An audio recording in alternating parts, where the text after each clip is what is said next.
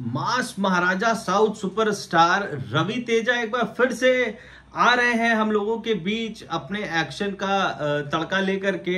एक उनकी मूवी आ रही है जिसका नाम है टाइगर नागेश्वर राव। और ये एक मूवी जो है, वो है बायोपिक एक ऐसे डाकू की, जिसके बारे में शायद आपने नहीं सुना होगा। पहले मैंने तो नहीं सुना था। जब ये मूवी का ट्रीजर आया था, तब मैंने पहली बार इसका नाम सुना और कहानी जान के मेरे तो होश उड़ गए।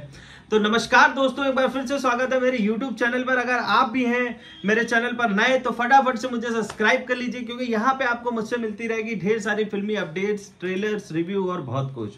तो टाइगर नागेश्वर राव जो है, ये केवल एक नाम नहीं था ये एक पहचान थी ऐसे इंसान की, जो कहने को तो वो डाकू था, लेकिन अपने लोगों के लिए वो बहुत अच्छा इंसान था।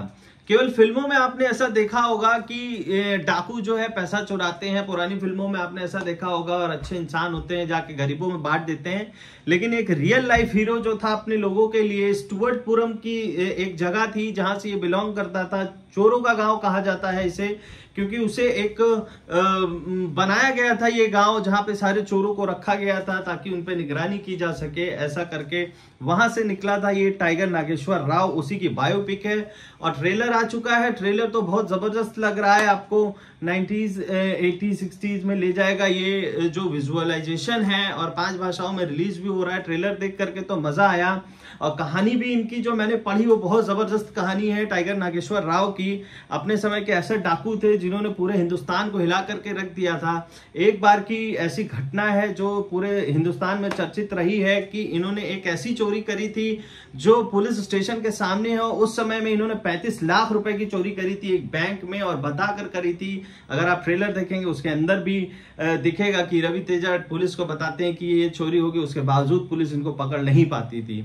तो ट्रेलर देख के तो मज़ा आया है। अभी पिक्चर में क्या और कुछ इनकी टाइगर नागेश्वर राव की जीवन से जुड़ी बहुत सी ऐसी चीज़ें होंगी जो हम नहीं जानते हैं। अभी तो केवल ओवरऑल स्टोरी पड़ी है, क्या और नया देखने को मिलेगा? वो तो पिक्चर आएगी तो पता चलेगा। मुझे लगता है पिक्चर बहुत ज़बरदस्त होगी और देखने लायक होगी, क्योंकि एक ऐसी बायोपिक है जिसके बारे में किसी ने सुना नहीं और मैंने कहानी पढ़ी तो मुझे बहुत ज़बरदस्त लगी। तो चलिए मूवी आएगी तो देखते हैं कि क्या कुछ और नया इसमें देखने को मिलेगा। तो ऐसी मज़ेदार अपडेट्स के लिए मुझे सब्सक्राइब कर लीजिए। अगर वीडियो अच्छा लगा हो तो लाइक कर दीजिए। मिलता हूँ नेक्स्ट वीडियो में।